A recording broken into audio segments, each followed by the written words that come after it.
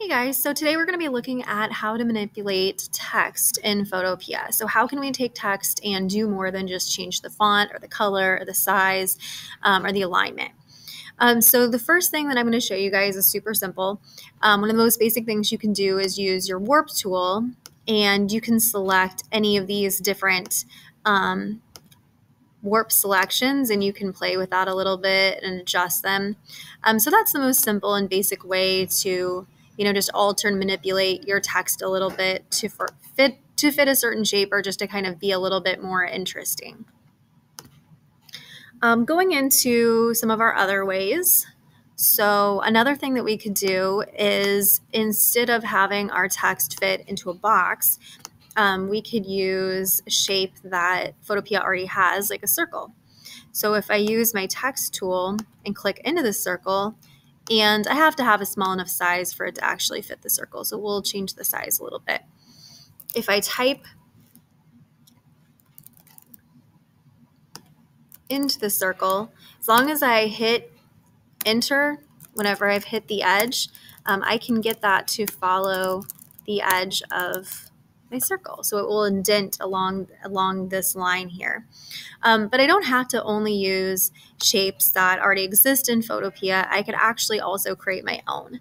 And this becomes interesting because like let's say that I pulled a photograph in here and I traced it and I got like a really cool um, silhouette like outline of like a person's profile or city skylines or something like that.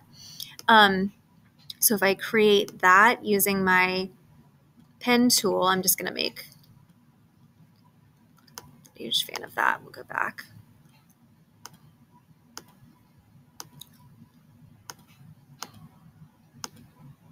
Make our own shape here.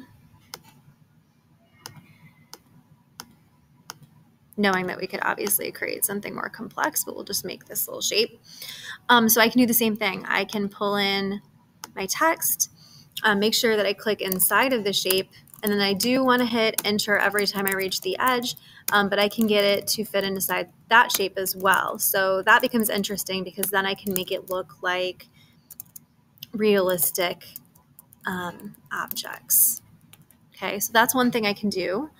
Um, another thing that I can do that's a little bit more advanced is actually stretch um, the text to fit a certain shape. So let's get rid of some of this. So like, let's say that I actually want to stretch out my text to a certain shape. And let's say that I want it to be a, um, just a circle.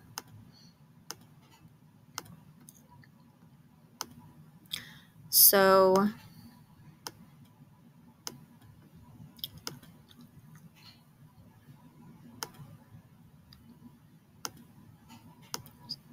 Okay, um, so what I can do is I can make my word. And I'm going to make that a color so you can see it a little bit better.